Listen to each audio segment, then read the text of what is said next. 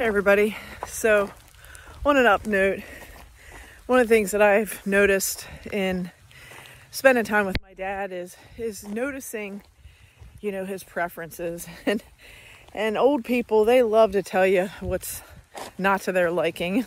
Uh, I think they just have a knack for that. Um, and to tell you that they don't like vanilla cream, powdered milk, they only like the plain brand, for example you know, and, and for us to pay attention to what their preferences are and to be able to reach out in the way that we can to satisfy what they like and what they prefer. And sometimes it might be a little annoying, but in the grand scheme of things, you know, it's not that hard to, to make those little sacrifices and changes to make them, you know, uplift their day. So the other thing is to notice you know, what things they like in terms of like movies or games or conversations, what have you.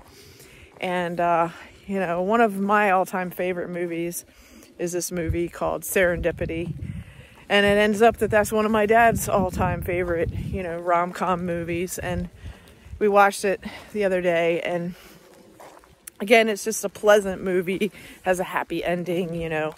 And I think everybody wants to believe that the guy is going to get the girl and that all is well and that there's a happy ending. And I think sometimes when we look at how, you know, sometimes life isn't that, you know, straight lace, meaning, you know, I'm a product of a family of divorce. Um, and so things are not simple, they're complicated. And, um, I know both of my parents love each other very much.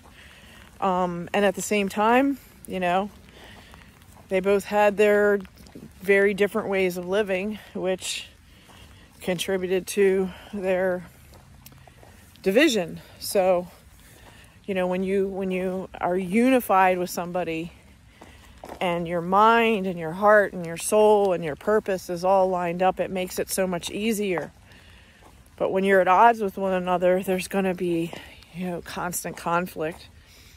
So, again, just being mindful of what people are going through and um, allowing them that space to have their, you know, movies, their favorite movies, and allowing them to have their favorite foods and things like that to just ease the pain and suffering that they're already feeling overwhelmed about um, because, you know,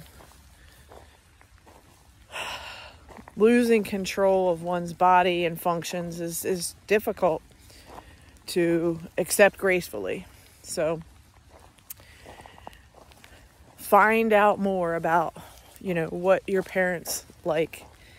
You know, what what are their favorite moments? Have those conversations, get them to tell you again how they met and what their stories are. Let them let them talk about their memories and their past. And if you can record some of it, that's great. And if not, then at least be very present when they tell you their story because you know, we're not promised tomorrow. So make sure that you pay attention today.